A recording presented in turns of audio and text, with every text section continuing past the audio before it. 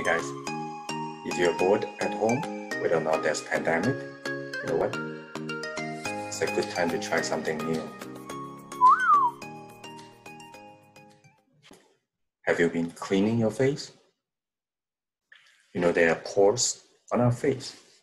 We need to clean them from time to time, right? Of course, like some people do it daily.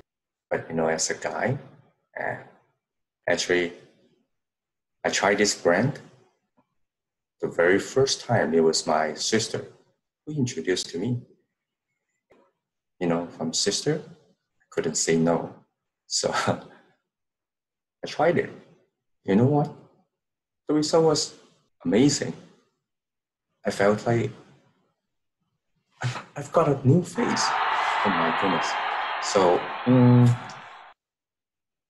that's why I joined this company and I start using this cleansing set, the so-called evening care set. You know, some guys they really care about how they look, and they've been taking care of their face. And I found that they are smart.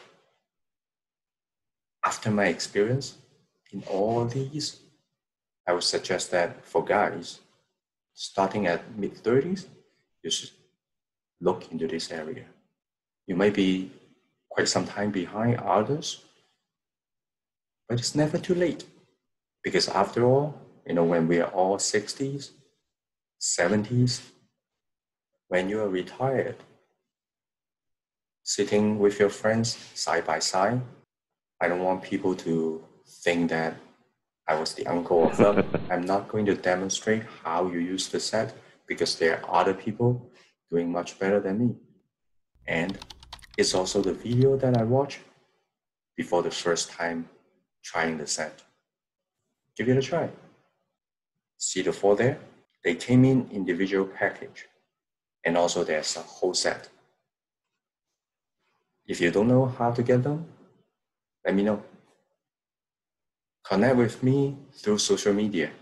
The information's down there or at the end of this video. Bye for now.